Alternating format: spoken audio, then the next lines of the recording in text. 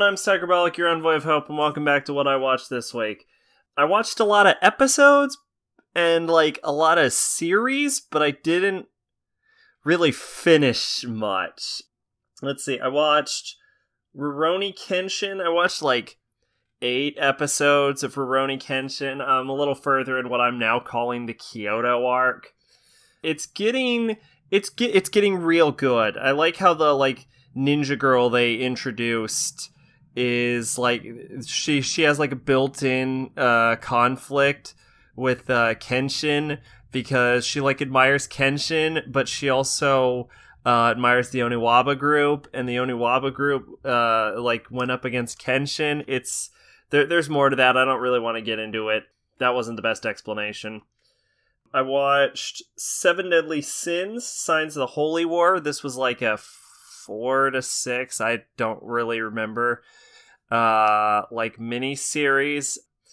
I read the manga and I don't remember any of this happening in it. But then again, uh, manga chapters are only like 20 pages. Uh, and this was all pretty boring, so I could have just glanced through it. And it just doesn't really stick out. I don't know. It wasn't that great, but I did like the scene where Gowther was in a skirt because Gowther's cool. So there's that.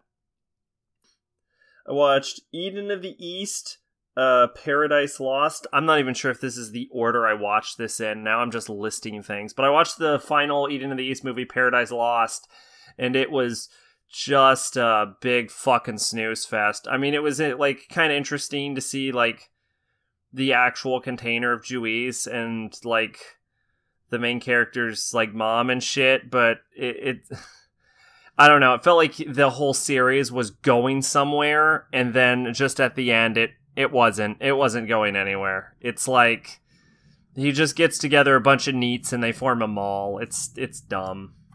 I watched like ten episodes of Hero Aca, but I might have done that last week. I have at this point stopped taking any semblance of real notes about whether I've watched it or not.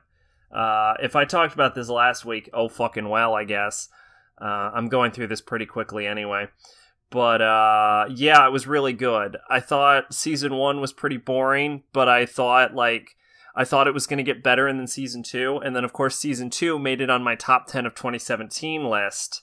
Uh, and I said in that list that I thought season three was going to be even better, and so far I've been right.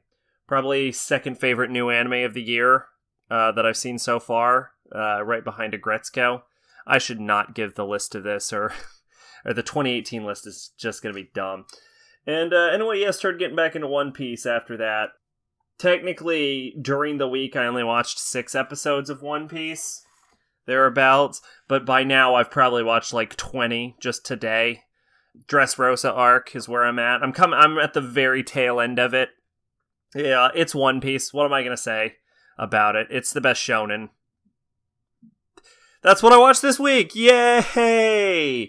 Um, next week I may have more or less to report on. I don't fucking know. I my anime watching habits so far have been like less what you would expect from me, which is like I just pound out series, and more what you would expect from a normal person, which is they just watch a couple of episodes from other series.